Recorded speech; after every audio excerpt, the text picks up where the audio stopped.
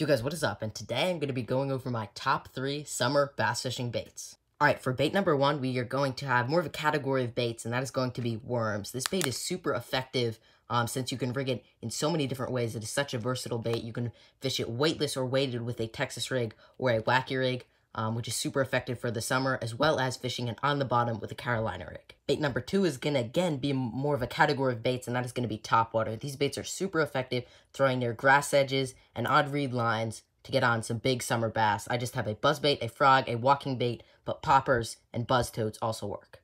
Bait number three is going to be a jig. This bait is super versatile and can be dragged or hopped up off the bottom with a creature bait trailer, just like this Googan Baits Krackin' Craw, and also rigged up with a saucy swimmer, or a swim bait like this to swim up through the grass as a swim jig. Hope you guys enjoyed.